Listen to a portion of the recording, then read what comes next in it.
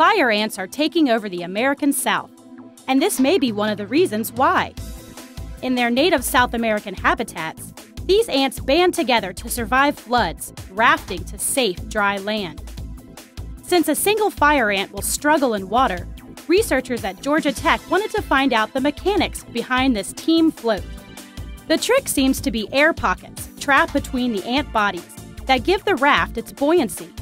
Even when the scientists try to submerge the raft, the water's surface deforms around the ants, similar to the way a trampoline flexes around its jumper.